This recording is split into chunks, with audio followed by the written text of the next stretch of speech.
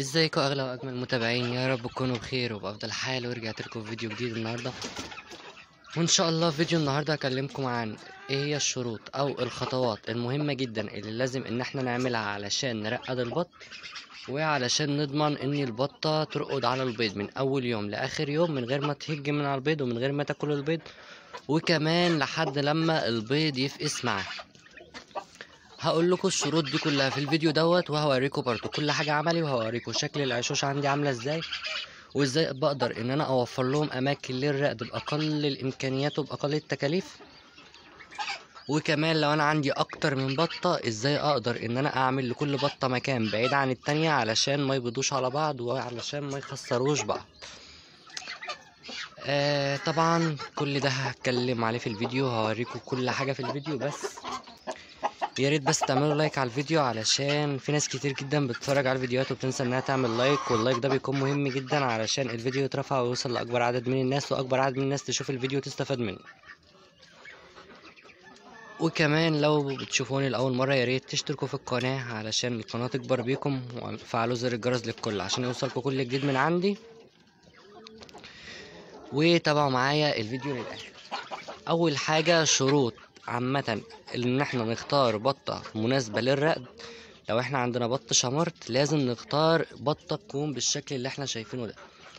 بطة تكون طويلة وتكون عريضة ويكون صدرها عريض. يعني أنا عندي البط اللي هو القافل لو حضراتكم هتلاحظوا البطتين اللي هناك دول. هنلاقي بطة قصيرة جدا وبطة طويلة وعريضة. وصدرها كبير. طبعا إحنا لما هنيجي نختار اللي هما الاتنين اللي قدام حضراتكم دول لما هنيجي نختار هنختار البطة اللي هي اللي حجمها كبير البطة الطويلة اللي إحنا نضمن إن إحنا لما هتشتغل عندنا وتنتج عندنا إنها هتجيب لنا بط حجمه حلو وحجمه كويس برغم إن البطتين اللي أنا وريتهم لكم دول إخوات إلا ان البطة اللي هي اللي حجمها ضعيف ديت يا ما شاء الله تقيلة. بس وهم صغيرين. البطة دي جالها دور إسهال شديد بس وأنا عزلتها عن بقية إخواتها لحد لما اتعالجت. بس الإسهال طبعا لما بيجي للبط بيعجزه شوية. أو بمعنى أوضح بيخلي إن هو ما يكبرش معايا. بيخلي اللي هو زي ما بنقول كده البط المقرمد أو البط المتقزم دي أول حاجة بنختارها. نختار البطة اللي تكون مش حجمها كبير تكون عريضة تكون يعني شايفين البطتين اللي هناك دولت دولت اللي هم الأمهات اللي عندي. البطتين اللي هي البيضة واللي جنبها ما شاء الله حجمهم عامل إزاي. وكمان هوريكم دلوقتي البط الباقي اللي راقد عندي هوريكم برضو حجمه عامل إزاي والأماكن اللي أنا اخترتها في الترقيد بتاعي تمام؟ لازم لما نيجي إن إحنا نختار آه بطة نختار بطة تكون هي اللي بتخدم نفسها. بمعنى إنها ما بتكونش محتاجة مننا أي مساعدة غير وقت فحص البيض بس. في بط هو اللي بيختار المكان بتاعه هو اللي بيك... بيعمل العش بتاعه هو اللي بيظبط الدنيا بتاعته علشان يرقد. تمام؟ وفي بط تاني بيحتاج إن إحنا اللي نعمل له كل حاجة. هو أهم حاجة عندنا بس إن البطة تكون نظيفة في رقدها ما تكونش البطة موسوسة. آه بتنام وأما حد يجي جنب البيض تقوم سايب البيض وطفشانة أو هجة من على البيض علشان كده إحنا لازم لما نيجي نختار بط يرقد لأول مرة عندنا بنختار البطة اللي تكون نظيفة في رقدها. أو البطة اللي تخدم نفسها آه اللي هي لما نيجي نشوفها ما تهجش من على البيض. يعني أنا دلوقتي تعالوا بس كده معايا نشوف البط اللي راقد هوريكم إزاي أنا بختار له الأماكن. وبرضه هوريكم البط ده عامل إزاي هو في بطة أهي بتبيض بس معرفش هي رقدت ولا لسه. أهي. لو حضراتكم شايفينها اللي هي البطة اللي جوه دي. أنا طبعا اخترت لها المكان ده لأن آه البطة دي نضيفة جدا بس أنا حابب إن أنا ما أحطهاش بره مع بقية الطيور آه علشان ترقد على البيض كله. أنا طبعا الخن ده أنا اللي كنت عامله كنت عامله كده بوايد طوب بكسر طوب عندي. آه وكمان آه كانت آه وقتها إحنا كنا في الشتاء وجمعت اللي هي الطينة بتاعت السطح بمعنى أوضح وعملت بيها الخن ده. تمام؟ فهو ده أول خن كده أنا وريته لكم أو أول عش للبط اللي هي راقدة فيه. طبعا المكان أهم حاجة. البيض بتاع البطه ديت هقول لكم كان متوسخ جدا.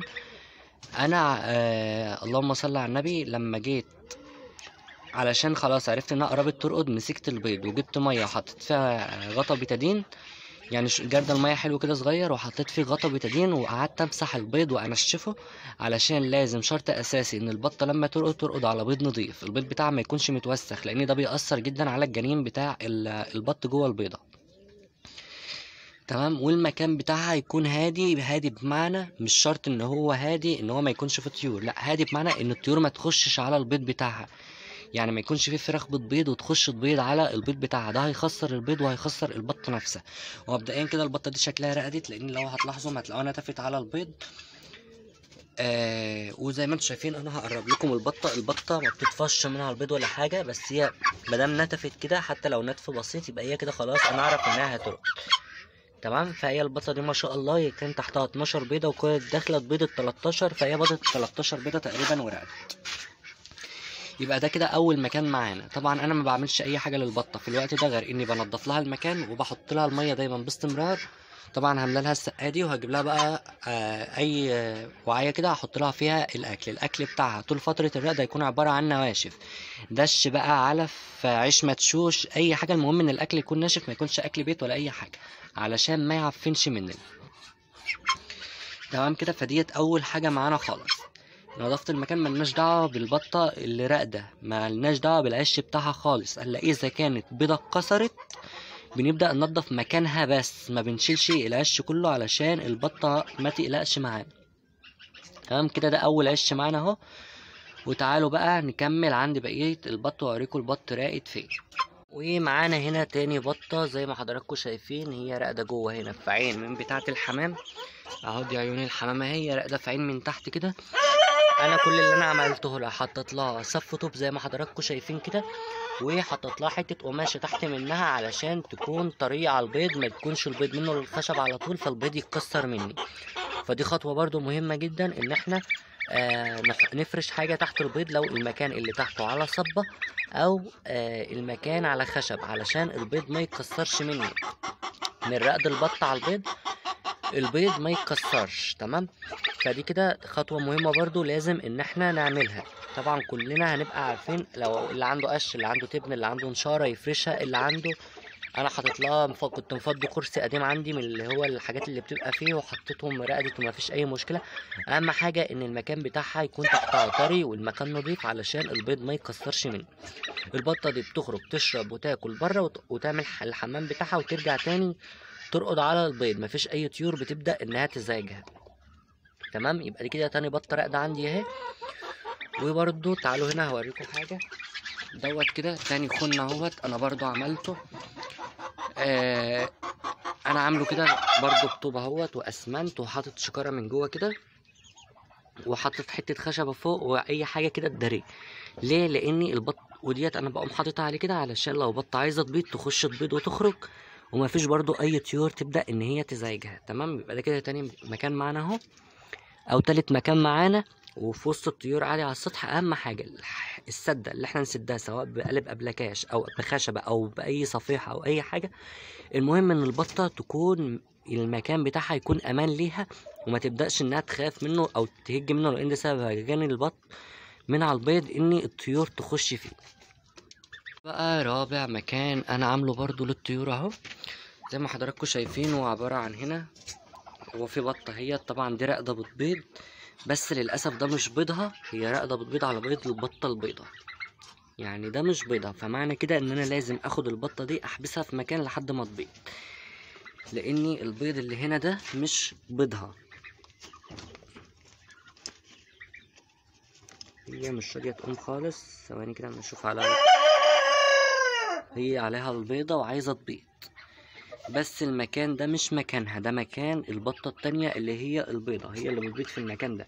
فأنا بقى هعمل إيه في البطة ديت؟ هقول لكم الوقت. شايف هي ده المكان أهو بتاع البطة البيضة هي عاملة العش بتاعها أهو. فطبعا أنا لازم آخد البطة ديت علشان ما تبيضش على بيض ال- البطة ديت ويبدأوا إن هم يرقدوا فوق بعض ويخسروا بعض. فتعالي بقى كده. ده المكان اللي أنا لسه موريهولكم أهو. أنا هدخلها جوه. وهحبسها بال بالمخدة ده هحطها لها كسدة علشان ما تخرجش من المكان ده خالص. اهو بالمنظر ده كده. وهسيبها بقى لحد ما تبيض. مش هخرجها من المكان ده لحد ما تبيض. وبعد كده هشيل السدة ديت وأعملها نص سد زي ما أنتوا شفتوها علشان تعرف إن ده خلاص كده مكان البيض بتاعه تبدا إن هي تخش تبيض تاني. تمام؟ فهي دي شكل العشوش. أنا وريتها لكم كده. ده شكل العشوش عندي اللي أنا بعملها للطيور. بأقل الإمكانيات وبأقل التكاليف. أهم حاجة نركز علشان ما يحصلش نفس المشكلة اللي كانت بتحصل ديت إن بطتين يرقدوا على بعض. لأن البطتين هيرقدوا على بعض يبقى خلاص عليه العوض في البيض البيض خسر. لأني البط البط بالذات ما ينفعش اتنين يرقدوا على بعض لأن دي هتدفي ودي هتسقع دي هتقوم دي هترقد. فاللي هو ممكن الاتنين أصلا يتخانقوا يكسروا البيض. فعلشان كده ما بفضلش ولا برجح أي حد إن هو يرقد بطتين مع بعض. تمام؟ في حاجة تانية إن البطة اللي إحنا نكون عارف يعني لو إحنا في فصل الصيف طبعا زي ما أنتم شايفين هي خرجت أهي. وبرضه هتروح على نفس المكان تاني علشان تبط ما علينا هقوم. هو ده مكان البطة البيضة اللي هي اللي واقفة دي. آه اختلاف الرقد بيختلف من فصل الصيف لفصل الشتاء بمعنى إن إحنا في الصيف لازم نوفر للبط المية لأن البط بيخش يرطب جسمه وممكن نلاقي البطة قامت من على البيض في الصيف لساعة أو ساعتين ده كده إحنا نضمن أو نطمن إن البطة دي معرو... آه يعني نضيفة لاني آه هي لو رقدت على البيض في درجة حرارة عالية جدا البيض هيبوظ فلما نلاقي البطة واقفة على البيض مش راقدة أو البطة خرجت من على البيض وبعد كده رجعت له تاني بعدها بساعة أو بساعتين مفيش أي خوف ده هي كده البطة نظيفة والبطة كده تمام. أنا هقوم بقى أشيلهم لأن كده الاتنين هيتشكلوا بصوا بيضتها أهي. أهي شايفين؟ هي البيضة اللي اتبلت دي. طبعا أنا هخرجهم بس كده علشان إيه؟ ما يحصلش جنايات. هو ده بيض البطة البيضة. ما شاء الله ده تاني شغل الله شايفين حجم البيضة بقى كبير إزاي. والبيضة ديت أنا هحطها هنا في المكان ده. هو ده تاني خن أهو أنا عامله. وما شاء الله بيطروا الاتنين كانوا راقدين قبل كده جنب بعض. فما فيش أي مشكلة ما دام في عازل كده بينهم ما فيش أي مشكلة.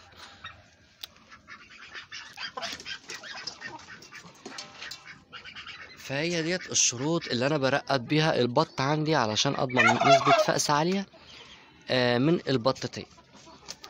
تمام؟